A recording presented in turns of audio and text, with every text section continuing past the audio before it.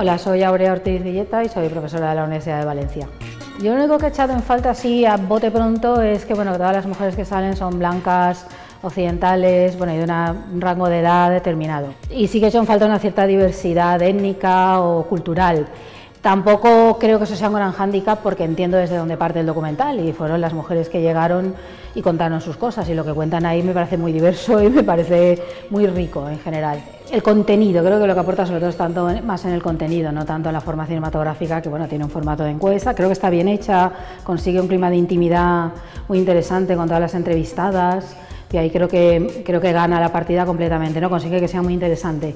Cierto que el contenido es lo que choca, porque es muy raro oír a mujeres normales y corrientes contar su vida sexual, sus deseos, sus fantasías, sus miedos, y yo creo que ahí es donde el documental gana la partida. Primero, no me gusta hablar de la mujer, porque eso no existe, es una entelequia creada, justo por esto existe este ciclo, entiendo, de películas y conferencias y charlas. Y yo creo que sí, yo creo que hay mucha más diversidad, hasta ahora ha habido poca, eso se está avanzando con retrocesos de vez en cuando o con impedimentos y demás, pero yo creo que sí va a haber mucha más diversidad, primero porque más mujeres van a acceder a la, posibilidad de hacer películas. Se está notando bastante en las series, algo menos en el cine comercial y bastante más en el cine no comercial. Entonces yo creo que obviamente habrá, aunque solo sea porque al capitalismo le interesaremos como fuerza de consumo y nos pongamos a consumir este tipo de cosas, porque se supone que si hay una demanda de ficciones con mujeres hechas por mujeres, pues obviamente se harán más. Ahí el mercado es implacable. Si encuentra un, nicho de consumo de estos, va a ir a por él. ¿no? Entonces, a lo mejor toca utilizar nuestro gran poder como consumidoras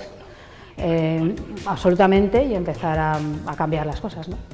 Yo creo que en, general, a ver, ahora en este momento hay pocas mujeres directoras, pocas mujeres cineastas, las cifras son las que son, desgraciadamente no mienten. Pero aún así yo soy optimista, ¿eh? no, no, veo un mundo en el cual eso no vaya a ser así. Es decir, que evidentemente costará, pero bueno, yo creo que esto es a no tardar. Y además yo creo que va a ser rápido, yo creo que ahí las mujeres tienen un empuje muy importante, ahora hay muchas ganas de hacer cosas y bueno, será así. Sí que vemos que hay un montón de ficciones realizadas por mujeres, interpretadas por mujeres, protagonizadas por mujeres, donde los personajes femeninos han sustituido un poco al que era el modelo de hombre maduro en crisis que creó el gran momento de las series y ahora están triunfando otras, ¿no?